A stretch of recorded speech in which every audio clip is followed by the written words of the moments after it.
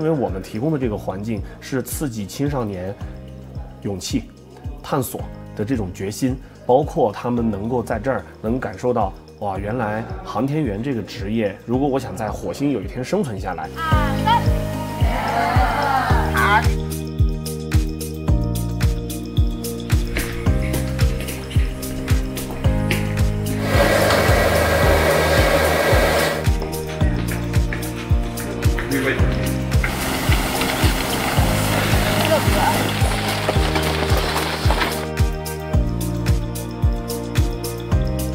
是很难的，这是第一。第二，我们不是想让他光是热爱航天，我们希望他是通过对火星模拟生活的感受，能唤起他们对现在地球能有的生活的珍惜和保护。